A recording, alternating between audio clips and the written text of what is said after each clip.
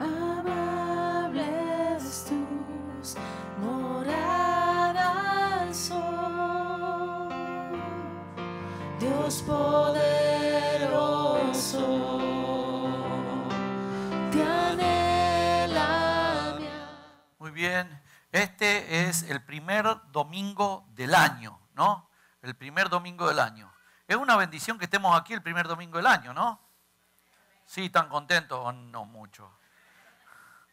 Esperemos que estemos todos los domingos del año aquí en la iglesia, ¿no? Y comienza un año y siempre nos, ah, o por lo menos nos deberíamos plantear qué vamos a hacer en este año, ¿no? ¿Qué vamos a hacer en este año? Eh, hay un eh, filósofo moderno eh, que Franklin Covey se llama, y él dice que cuando iniciamos algo tenemos que hacerlo con el fin en la mente, ¿no? Dice que, ah, que pensemos qué vamos a hacer, a dónde vamos a ir, ¿no? ¿Qué vamos a hacer? Ah, Alicia en el País de las Maravillas se encuentra con una bifurcación de caminos allí y le pregunta a un gato y le dice al gato, ¿qué camino debo tomar? Y el gato le pregunta, ¿y a dónde querés ir? Y Alicia le dice, no sé a dónde quiero ir. Entonces el gato le dice, entonces, ¿qué importa qué camino tomes? bueno, nosotros podemos estar como Alicia en el País de la Maravilla y agarrar para donde sea, total, no sé, voy con lo, así, con la vida, se va, va dando la vida y ahí voy haciendo como voy pudiendo. Esa es una de las alternativas. Eh, funcionar como Alicia en el País de las Maravillas. Te cuento que esta tierra poco tiene de maravilloso, no te conviene andar como Alicia en el País de las Maravillas.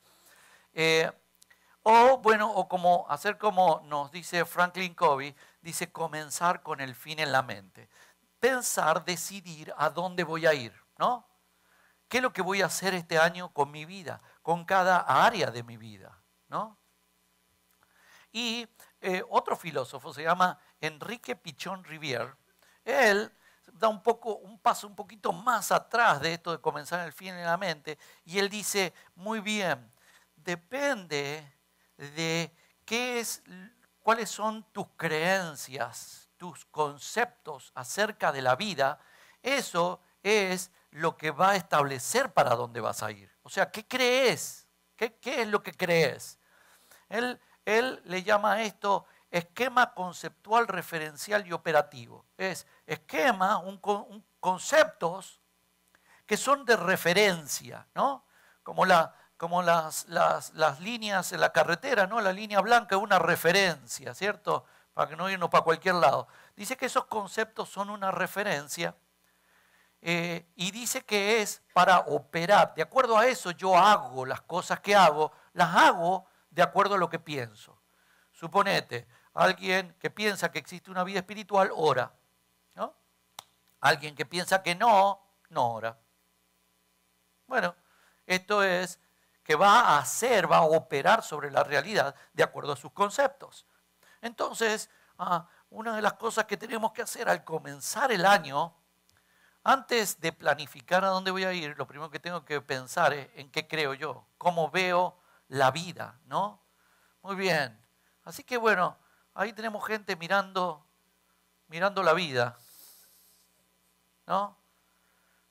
¿Cómo se va la vida? No, ¿cómo tomo la vida? ¿no? Entonces, bueno, eh, necesitamos pensar en qué creemos, eh, en qué creemos. Y bueno, eh, de ahí en qué creemos podemos ah, nosotros tomar un montón de libros de distintos eh, filósofos y podemos leer a Marx, ¿no? podemos leer a Freud, podemos leer a Walt Disney, podemos leer un libro de ocultismo o de sueños, ¿no? Podemos leer muchas cosas que tienen que ver con creencias, ¿qué creo yo? ¿no? Puedo eh, tomar un libro de, de finanzas para ver si me hago millonario, ¿no? Porque se ve que esto de la herencia no, no, tal vez no llegue. Entonces, ¿no? Bueno, nosotros hemos decidido tomar la Biblia. ¿no? La Biblia eh, es un libro que se escribió en un rango, fíjense, de 1500 años, en realidad un poquito más, pero más aproximadamente 1500 años, desde que se empezó a escribir hasta que se terminó de escribir. Y hubieron 40 eh, autores aproximadamente, 40 personas que escribieron. Algunos eran eh, personas estudiadas, otros no habían estudiado nada. Algunos escribieron eh, en momentos, digamos, en situaciones muy buenas para escribir, otros en situaciones muy malas. Pero increíblemente, todos llevaron el mismo concepto el mismo esquema conceptual, referencial y operativo. Todos llevaron eh, el mismo criterio, la misma línea. ¿no? Increíble, como en 1500 años, 40 autores, que la mayoría no se conocieron entre ellos, algunos sí, pero otros no se conocieron, se imaginan 1500 años, escribieran con los mismos conceptos, sin contradecirse. Es increíble. ¿No? Creemos que el Dios creador los inspiró para que todos escribieran bajo una misma línea y nos dejaran un mensaje de Dios, ¿no? Dios utilizó a ellos para escribir la Biblia.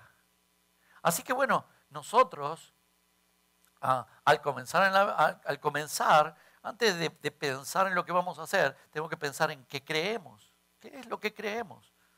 ¿Cuál es nuestro esquema conceptual, referencial y operativo? Tal vez Dios habrá leído a, Enrique Pichón Rivier y lo sacó de ahí para todos, para alinear a todos, ¿no? En el mismo, en el mismo concepto. y esto es fantástico. Entonces, eh, la Biblia, hay un pasaje que a mí me encanta porque eh, lo, vamos a leer y es increíble ah, cómo, digamos, presenta un abanico acerca de la vida y de la creación, ¿no? Y hasta de Dios mismo. Y ah, este pasaje se encuentra en el Nuevo Testamento, ah, allí en Colosenses. Y dice así, nadie puede ver a Dios, pero Jesús es Dios en forma visible y supremo Señor de toda la creación. Con su poder creó todo lo que hay en el cielo y en la tierra, todo lo que se ve y lo que no se ve, ya sean eh, ellos seres espirituales, poderes, autoridades o gobernantes. Todo ha sido creado por Él y para Él. Cristo existió antes que todas las cosas y todo el universo sigue su curso gracias a Él. Cristo es la cabeza de la iglesia, que es su cuerpo. Él dio comienzo a todo y fue el primero en resucitar de la muerte. Entonces, Él es el más importante en todo sentido. A Dios le agradó que todo lo que Él es habitara plenamente en Cristo. Y con gusto decidió reconciliar consigo todas las cosas, tanto las que están en el cielo como las que están en la tierra. Dios hizo las paces con nosotros a través de la sangre que Cristo derramó en la cruz. Antes ustedes estaban alejados de Dios y su manera de pensar los hacía enemigos de Dios porque practicaban la maldad. Pero ahora Cristo por medio de su muerte física, los ha convertido en amigos de Dios. Cristo murió para presentarlos santos ante Dios, es decir, sin ninguna mancha ni maldad que pueda ser juzgada por Dios. Cristo hará esto si siguen creyendo en las buenas noticias que escucharon. Tengan buena base y manténganse firmes en su fe. ¡Wow! Que me encanta este pasaje, es grandioso.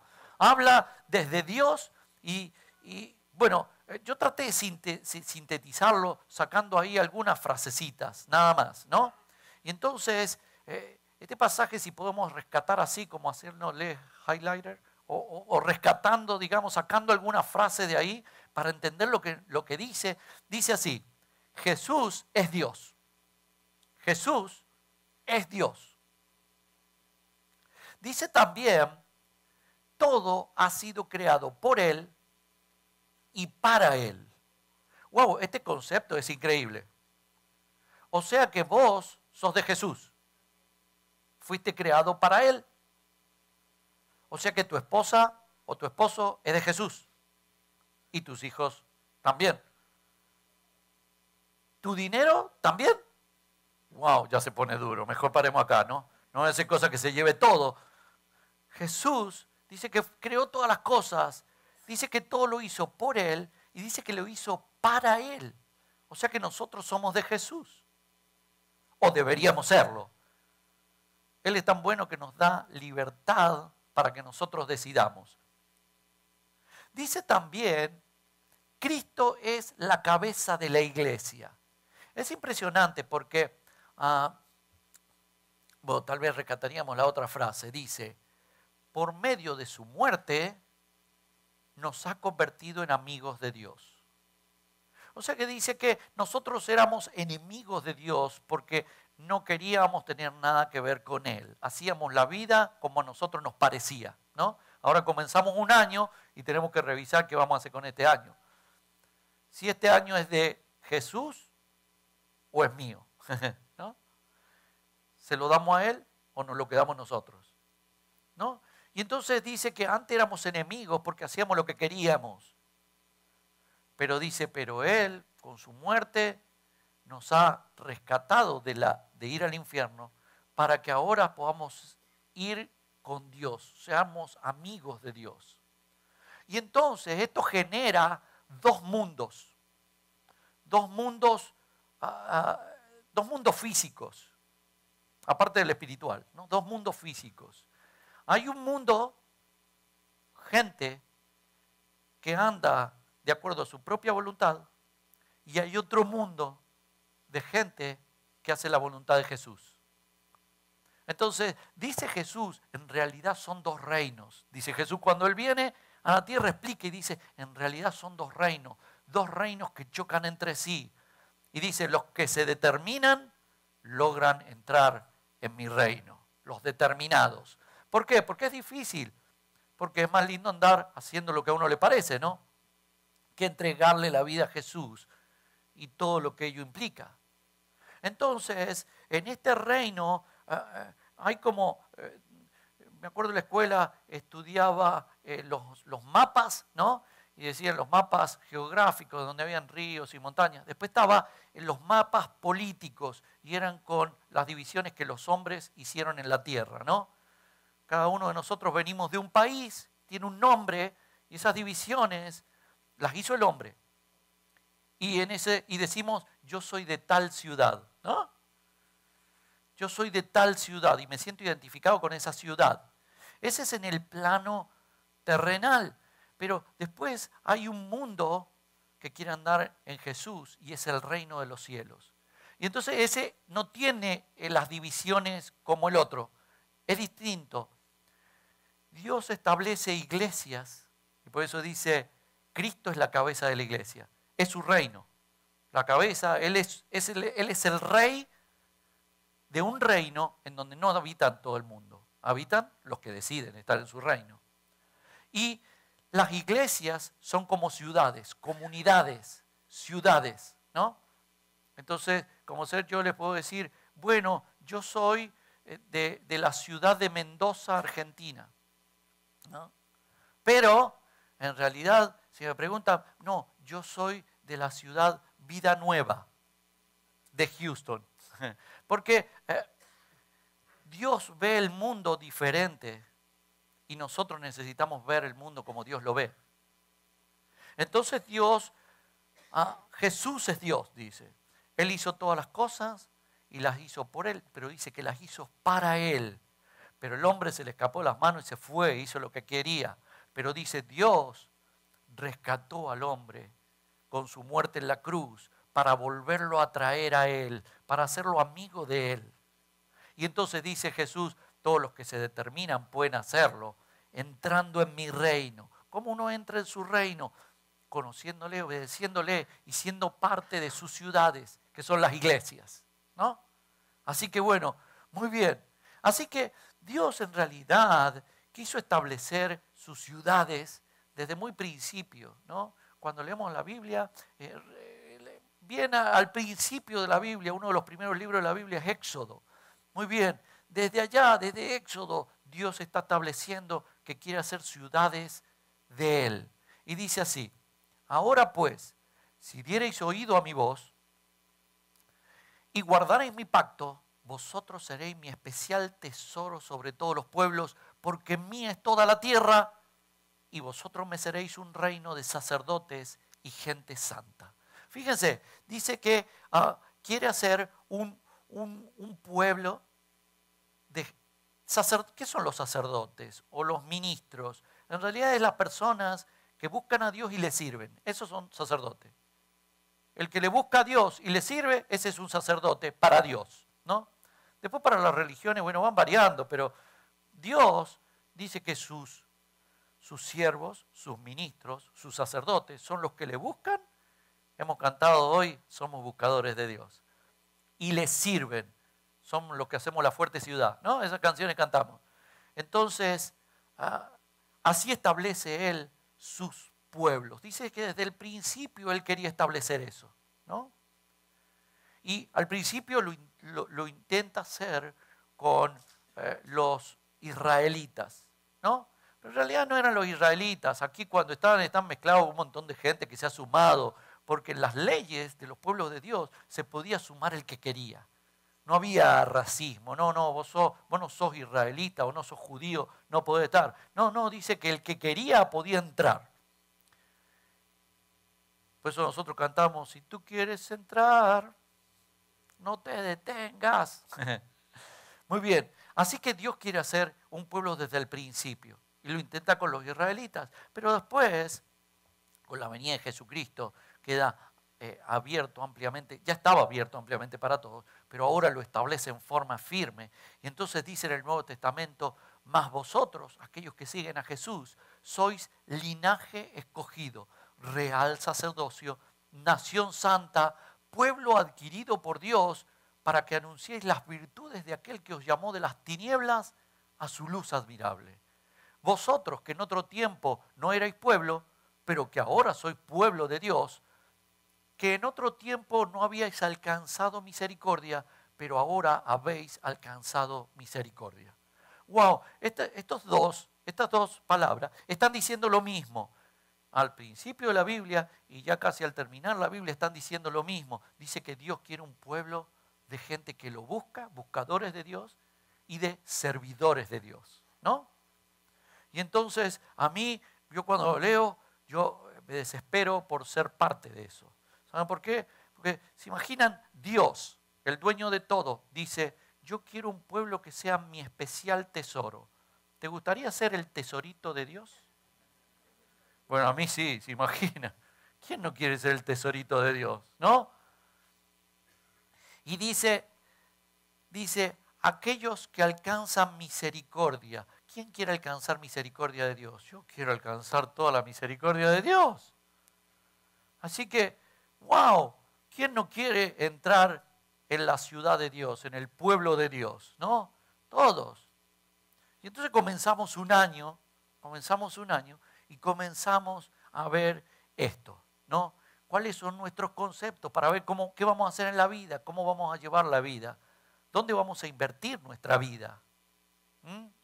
Y hay este pasaje hermoso, está en Salmos y dice, bendito sea Jehová, porque ha hecho maravillosa su misericordia para conmigo en ciudad fortificada.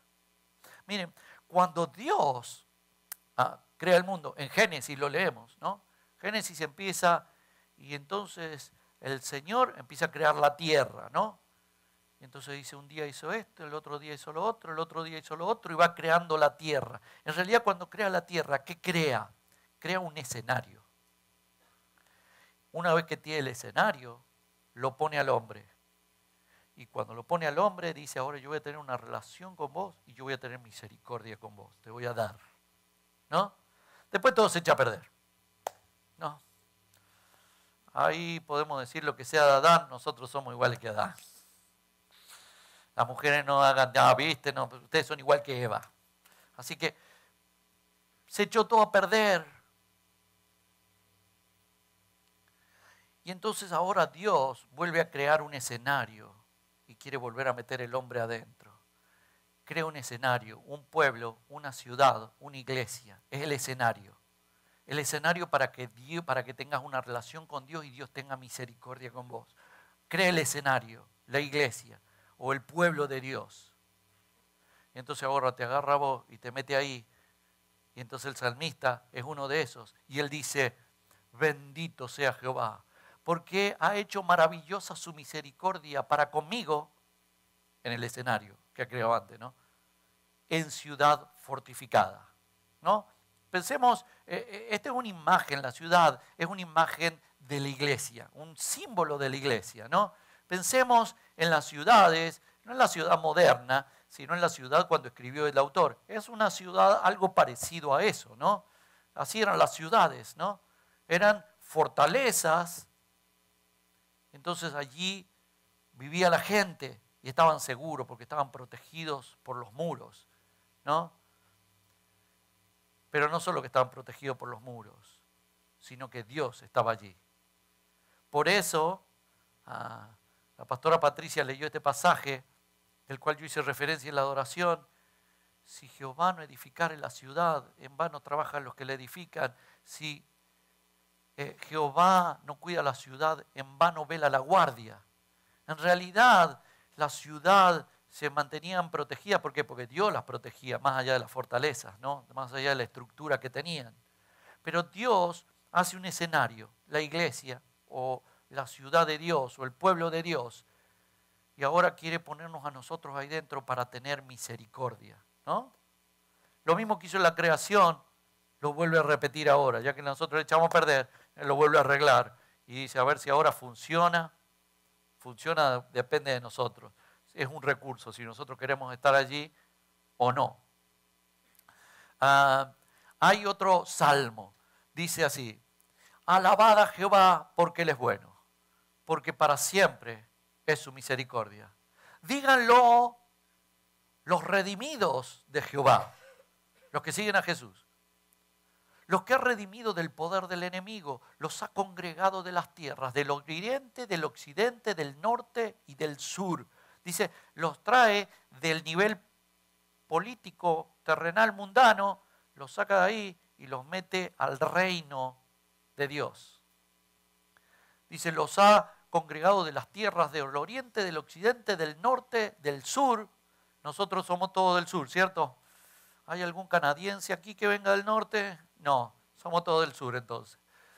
Dice, anduvieron perdidos por el desierto, por la soledad sin camino, sin hallar ciudad donde vivir. Está hablando espiritualmente, no es que no tenías una ciudad donde vivir. Está hablando de cuando nosotros andamos por el desierto de la vida, por las circunstancias dolorosas, en donde estamos mal y en donde es como si anduviéramos por un desierto.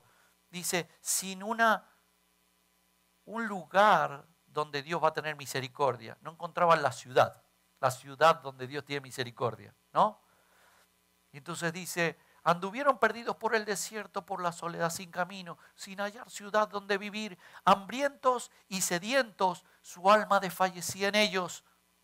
Entonces clamaron a Jehová en su angustia y los libró de sus aflicciones, los dirigió por camino derecho para que viniesen a ciudad habitable. Muy bien, Dios quiere tener misericordia en el escenario que Él crea. ¿no? Entonces en este tiempo, por medio de Jesucristo, eso es lo que leímos al principio, Jesucristo, que es Dios, creador de todo, todo es de Él, Él es cabeza de la iglesia, Él es el rey del reino, Él es el dueño de esas ciudades que son las iglesias. Y dice, muy bien, estaba perdido, pero para tener misericordia lo trajo a ciudad habitable. Se está refiriendo a eso, está hablando simbólicamente, ¿no? En Isaías dice, yo soy el único Dios. Yo haré que la paz y las riquezas de las naciones lleguen hasta Jerusalén como un río desbordado. Fíjese, nosotros cantamos hoy, ¿cierto? Tu río, el Espíritu Santo como un río. Cuando la Biblia habla de río, muchas veces está hablando simbólicamente del Espíritu Santo.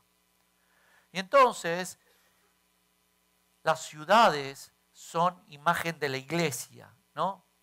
Y principal una, principalmente una ciudad, la ciudad de Jerusalén. Entonces dice, la ciudad de Jerusalén, dice, yo haré que la paz y las riquezas de las naciones lleguen hasta Jerusalén como un río desbordado. Jerusalén, miren, Jerusalén, la ciudad, los llevará en sus brazos, los alimentará y les mostrará su cariño. Yo por mi parte los consolaré a ustedes como una madre consuela a su hijo, así ustedes recibirán consuelo en la ciudad de Jerusalén. Miren qué interesante. Ahora, entonces, todos querían ser tesoritos de Dios, ¿no? Estamos sí, estamos bien. Todos quieren ser tesoritos de Dios. Yo sí quiero ser tesorito de Dios. Entonces dice, dice Dios, yo voy a agarrar mi tesorito, ¿no? Vamos a pensar en Santiago ahora, ¿cierto? Que el tesorito que pasó acá adelante. Dice, yo lo quiero agarrar como lo agarra su mamá y lo quiero tener en mis brazos, lo quiero mimar, lo quiero proteger, lo quiero alimentar, quiero tener misericordias con él. Dice, eso lo voy a hacer. ¿Y cómo lo va a hacer? En la ciudad de Jerusalén. Dice, va a usar la ciudad de Jerusalén para hacer eso. Y entonces, ahora yo con mi experiencia me doy cuenta que la iglesia ha sido los brazos de Dios. En la iglesia me han pasado tantas cosas, tantas cosas hermosas. Me sané, me, el Señor me, enseñó, me sociabilizó. Me puse de novio en la iglesia, me casé en la iglesia, tuve hijos en la iglesia. No los tuve acá, no en el hospital, pero me refiero a que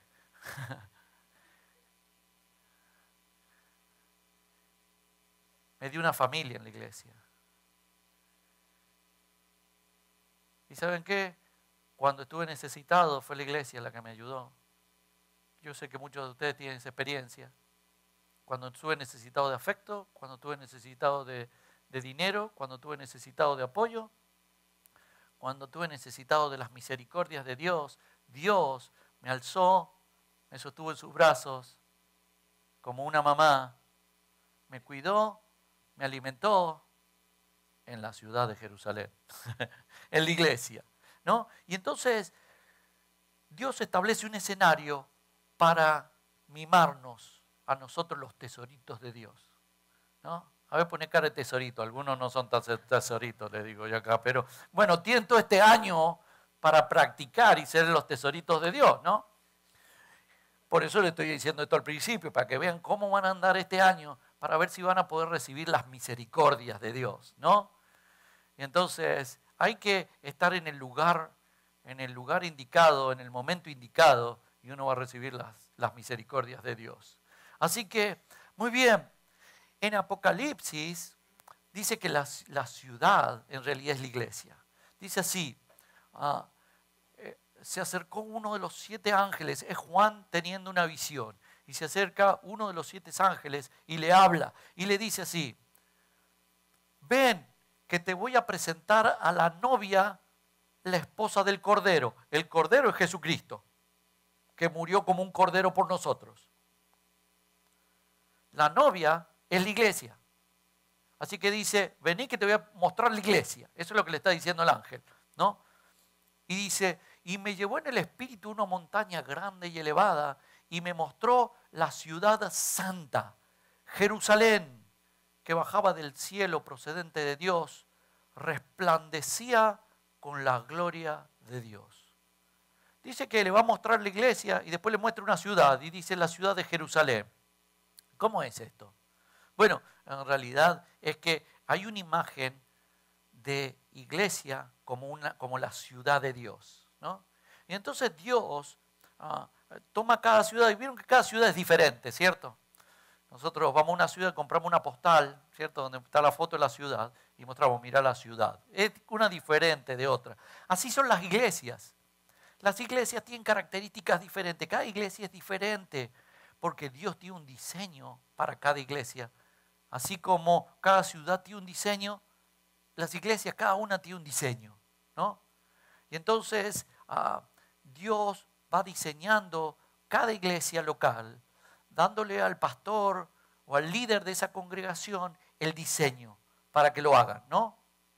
Pablo, como ser, él dice, yo como perito arquitecto puse el fundamento y otro edifica, pero fíjense que edifiquen como yo les voy diciendo, ¿no? Entonces, ah, fíjense, Pablo está hablando como que es un arquitecto que, que hace un diseño. En realidad es Dios que le da a hombres el diseño de ciertos lugares, como la ciudad de Jerusalén, como las iglesias locales, ¿no? A Noé, la iglesia, ¿saben cómo es? Como un barco. Un día va a llegar una inundación y todos se van a ahogar. Pero el arca quedó y todos vivieron, ¿no? Algunas veces cuando uno lee lo del arca dice, ¿cómo me gustaría ser más animal? ¿no? Porque se salvaron un montón de animales.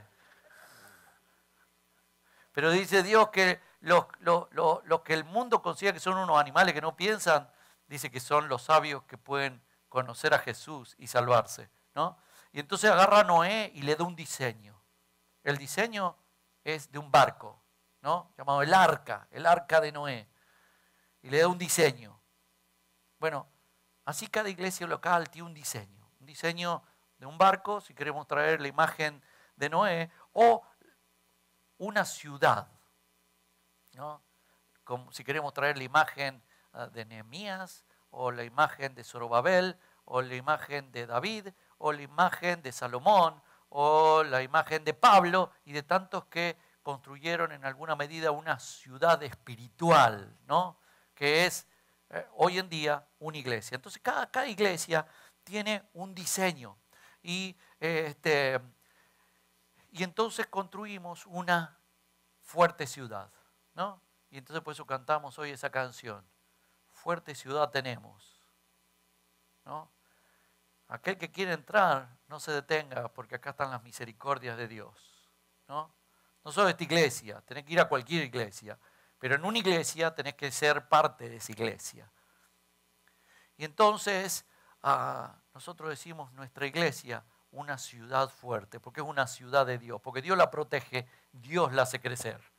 Y nosotros permanecemos allí. Así que ah, dice en Efesios, Efesios eh, eh, es, es una de las cartas del Nuevo Testamento que habla principalmente de la iglesia. Y dice así, hagan todo lo posible por vivir en paz para que no pierdan la unidad que el Espíritu les dio. Solo hay una iglesia, solo hay un Espíritu, y Dios los llamó a una sola esperanza de salvación.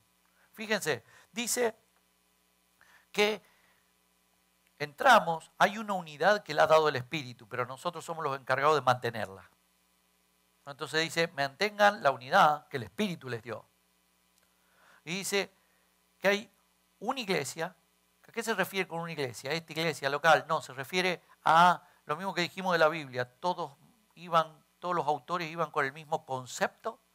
Bueno, así todas las iglesias que creen en un Dios que es trino, Dios Padre, Hijo y Espíritu Santo, que creen que Jesús es Dios mismo y es nuestro Salvador, y que ha hecho un pueblo, una ciudad, un conjunto de personas, una comunidad a la cual le llama iglesia, bueno, los que creen eso, ¿no? Esa es la iglesia. Dice, una iglesia, un espíritu, y dice, y Dios los llamó a una misma esperanza de salvación, de misericordia, ¿no? Dios llama para que entren a la ciudad. Por eso nosotros abrimos las puertas y cantamos, si tú quieres entrar, no te detengas, porque acá están las misericordias de Dios, en las iglesias de Jesucristo. Esta o cuántas iglesias que hay por todo el mundo, iglesias de Jesucristo, tenés que formar parte de una de ellas para recibir las misericordias de Dios y ser el tesorito de Dios. Muy bien, así que, eh, y entonces Dios comenzó a hablarme por medio de Efesios. Y continúa este pasaje que dice, y él mismo constituyó a unos apóstoles, a otros profetas, a otros evangelistas, a otros pastores y maestros, a fin de perfeccionar a los santos para la obra del ministerio, para la edificación del cuerpo de Cristo. Muy bien, está siempre diciendo lo mismo con distintos símbolos, ¿no? Dice ahora que los que entran son santos, son santos porque son, ah, como siguen a Jesucristo, ahora Dios no te ve como culpable, como enemigo, sino que te ve como amigo. ¿no? Y dice que ellos, los que entran, nosotros, tenemos que ser ministros.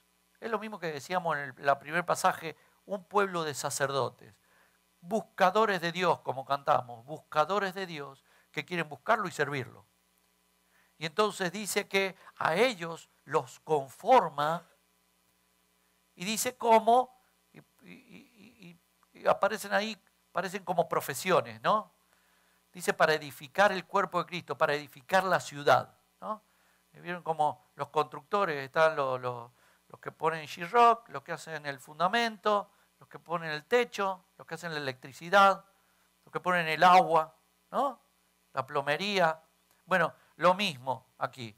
Tienen como ciertas profesiones. Apóstoles, profetas, evangelistas, pastores y maestros. Miren, ¿qué sos vos? Lo tenés que averiguar. ¿Dónde va a funcionar? Bueno, entonces, entonces, a partir de allí, Dios me dio el diseño de esta iglesia. Y, te lo cuento para ver si te sumás a esta, pero alguna te tenés que sumar. De última, si no te gusta esta, te va a otra iglesia y le pregunta al pastor, ¿y cómo funciona esta ciudad? Y ahí decidís si estás o no estás. Entonces, hay cuatro, eh, perdón, cinco columnas que sostienen esa ciudad y son esos ministerios. Apóstoles, profetas, evangelistas, pastores y maestros. Esas son las cinco columnas que sostienen esta ciudad, que, que la sostienen y que la conforman. Amén. Ahí está la ciudad como en los tiempos ah, antiguos. Pensemos en las ciudades medievales como ser, ¿no? Las fortalezas allí. Muy bien.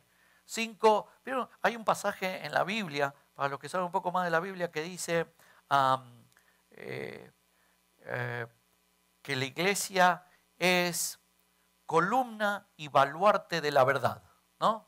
La verdad es Jesucristo, lo que leímos al principio, que Jesús es Dios, que Él existe antes de todas las cosas, que Él creó todo para Él y por Él, que Él es nuestro Salvador. Esa es la verdad. Y dice que la iglesia es columna, ahí tenemos las columnas, y baluarte. ¿Saben qué es baluarte? El baluarte es esas columnas, esas que en, los, las fortalezas, en los castillos medievales, ¿no? Salía un poco para afuera de la ciudad y de ahí defendían la ciudad, ¿no? Esas eran las torres donde defendían, ¿no? Ahí se ponían los arqueros, ¿no? Muy bien. Entonces dice, la iglesia es columna y es sostenedora y defensora de la verdad que es Jesucristo. Entonces, bueno, ahí tenemos la, ciudad, nuestra ciudad, ¿no? Nuestra ciudad. Y, por supuesto, ¿cómo era? Estaba todo rodeado, pero adentro que habían casitas, donde vivía la gente, donde crecía, donde se desarrollaba, donde se relacionaba.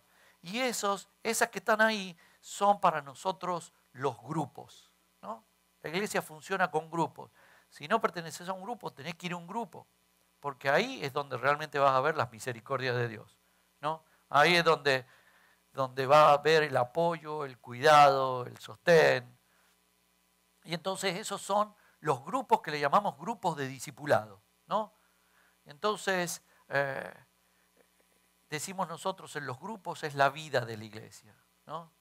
Ahí nos juntamos, son grupos pequeños, en donde podemos dialogar, en donde podemos contar nuestras cosas, donde van a orar por nosotros, donde aprendemos a vivir la Biblia, donde tomamos café, taco, empanada, y todo, todo lo demás. O sea que son, se ponen lindos los grupos. Bien, entonces, ah, ¿cómo, cómo, cómo, cómo sucede? Abrimos las puertas y decimos, aquel que quiere entrar, y entonces uno entra y entonces va a ir a un grupo de discipulados. Así se entra a la iglesia, a un grupo. Y cuando uno está en un grupo, bueno, después eh, uno va a ir haciendo un caminito de un grupo, va a pasar a otro grupo. Hay grupos de distintos tipos, ¿no?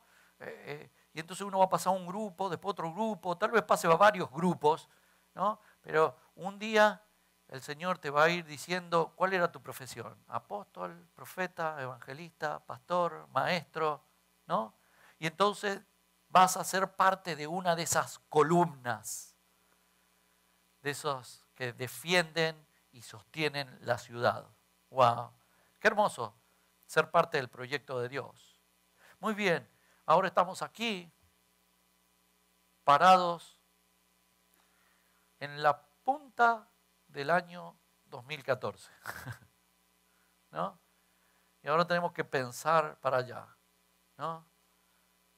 Hemos hablado, como decía Enrique Pichón Revier, ¿no? de los conceptos, ¿no? del esquema conceptual, referencial y operativo. Muy bien, ya sabes qué crees o no, pero dijimos que creemos en la Biblia y en ese pasaje hermoso que habla de Jesús. Y damos un pasito un poquito más para adelante y nos encontramos ahí con Franklin Covey, ¿cierto? Que decía, comiencen con el fin en la mente. ¿Qué van a hacer este año? Ya sé, voy a ser el tesorito de Dios. ¿Eh? Muy bien. Así que tenemos que terminar el año, ¿saben cómo? Diciendo como el salmista. Bendito sea Jehová, porque ha hecho maravillosa su misericordia para conmigo en ciudad fortificada. Amén. Muy bien, ahora yo quiero que todos se pongan en pie y yo voy a, orar por ustedes para que el Señor los dirija este año en la toma de decisiones que van a hacer para vivir este año. Muy bien, cerra tus ojos. Señor, yo te quiero pedir por todos los que están aquí, Señor. En tu infinita misericordia se encuentran aquí, Señor, el primer domingo del año en tu ciudad, en tu reino, en tu iglesia.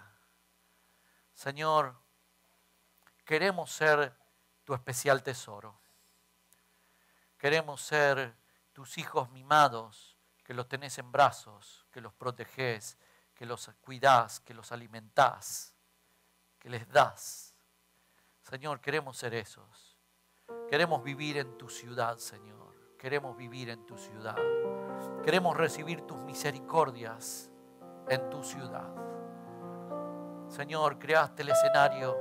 Yo quiero ser el artista que se pone en ese escenario y que recibe tus misericordias. Yo quiero estar en esa ciudad donde corre el río de Dios. Ese río que sana, que refresca, que inunda. Señor, yo quiero, yo quiero vivir el 2014 en esta ciudad, Señor para recibir tus misericordias. Yo te pido, Señor, por todos los que están aquí presentes, para que vos le des sabiduría de lo alto. Le reveles, Señor, le reveles las cosas espirituales. Que ellos puedan ver el futuro que vos tenés para ellos, Señor, más allá del que ellos planean. Señor, Señor, tené misericordia, tené misericordia metelos en tu ciudad, metelos en tu ciudad para que toda tu abundancia sean sobre sus vidas en este año. Hay una, hay una forma de entrar en la ciudad, hay un camino, hay una puerta. Y ese es Jesús. Jesús dice, yo soy la puerta, yo soy el camino. Nadie va al Padre si no es por mí. Si alguien aquí quiere entrar en las misericordias de Dios, lo primero que tiene que hacer es aceptar que Jesús es Dios, que Él es el dueño de todo y el dueño de tu vida, que te pide tu vida y que si vos se la das, Él tiene misericordia de vos. Si has tomado esa decisión, orá internamente conmigo, haz esta oración Dios mío, yo quiero tomar a Jesús como mi Salvador y el que gobierna mi vida. Yo quiero recibir a Jesús en mi corazón. Yo quiero entrar en su reino. Y quiero que Él sea el rey de mi vida. El que gobierna mi vida. Pero también el que va a salvar mi vida. El que me va a llevar al cielo el que me va a tener misericordias y me va a salvar de las situaciones de la vida y también me va a salvar del infierno y me va a llevar al cielo. Yo acepto a Jesús como mi Rey y mi Salvador. Ahora, Dios mío, por medio de Jesús, pone tu Espíritu, tu Espíritu Santo dentro de mí y haceme entender todas estas cosas y plantame en una iglesia, Señor. Meteme y haceme ciudadano de esa ciudad. Gracias, Señor Jesús, porque ahora tengo acceso a tus misericordias. Gracias, Señor. Gracias, Señor. Gracias, Señor. Yo quiero que nos despidamos hoy cantando esta canción. Yo les voy a pedir que puedan pasar aquí, todos aquellos que quieran ser parte de la ciudad de Dios, que puedan pasar aquí y vamos a cantarle esta canción al Señor.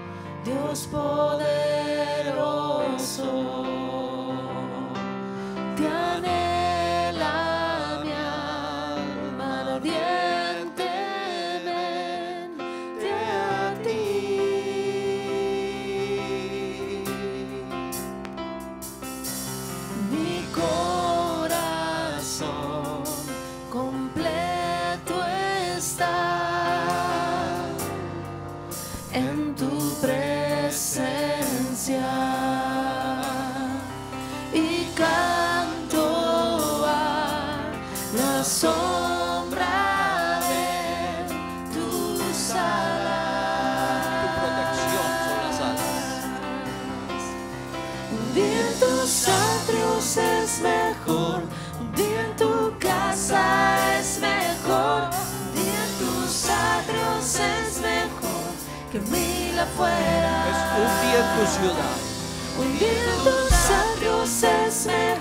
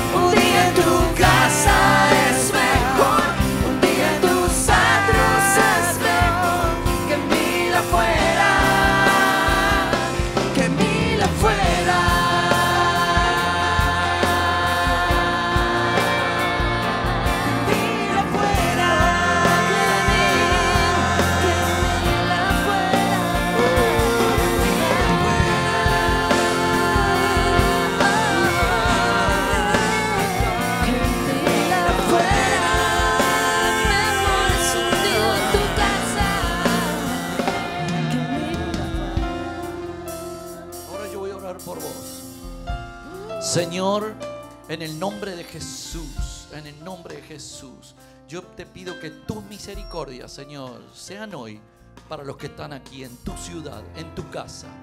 Yo te bendigo ahora en el nombre de Jesucristo para que el Espíritu Santo te llene, para que el Espíritu Santo te toque y te haga ver las cosas espirituales, para que el Espíritu Santo te dé sabiduría para elegir en este año cómo recibir las misericordias de Dios. Yo te bendigo en el nombre de Jesús, bendigo tus relaciones, bendigo tus finanzas, bendigo tu familia, bendigo tu trabajo. Yo en el nombre de Jesús te bendigo, bendigo tu residencia en este lugar. Yo te bendigo para que el Señor tenga misericordia este año y te dé, te cubra todas tus necesidades, pero también te dé todos tus sueños, todos tus sueños. Y en este primer día del año vamos a, pedirle a Dios. Y yo te pido que penses en qué querés pedirle a Dios. Y cuando lo tengas, cerrá tu puño y levántalo así en alto. Señor, ahora yo te quiero pedir por las necesidades que aquí tu pueblo, tu iglesia, los que están aquí en esta ciudad ahora te están pidiendo, Señor. Porque la Biblia dice que tus ojos van a estar atentos a lo que se pida en tu ciudad. Así que Señor, yo te pido por estas necesidades, por estos sueños, Señor, Señor, sé propicio. Hace, Señor, tu obra para este año. Cubrí, Señor, todas estas cosas. Yo te bendigo en el nombre de Jesús. Yo te bendigo en el nombre de Jesús para que el Señor te dé lo que le estás pidiendo. Yo te bendigo en el nombre de Jesús. Y ahora abrí tu puño y entregáselo al Señor. Señor, te entregamos estos pedidos. Sabemos que nos has escuchado porque tu palabra dice que lo hacemos en el nombre de Jesús. Vos estás atento. Y te damos gracias, Señor, porque sabemos que este año vamos a recibir bendiciones de parte tuya, tus misericordias. Yo ahora te bendigo en el nombre de Jesús. Bendigo para que tengas un año de bendición y de misericordias del Señor. Yo te bendigo en el nombre de Jesús para que tengas una semana especial donde Dios te revele cómo vas a andar este año. Yo te bendigo ahora en el nombre de nuestro Señor Jesucristo. Amén.